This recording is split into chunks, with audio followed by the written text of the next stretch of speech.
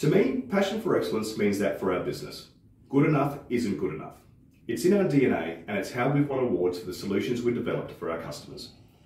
Passion for excellence is about the external, delivering optimal outcomes by challenging our customers' thinking and future-proofing the work that we do for them. And also the internal, where we tweak and refine our operations to constantly improve the experience for the team and our customers alike.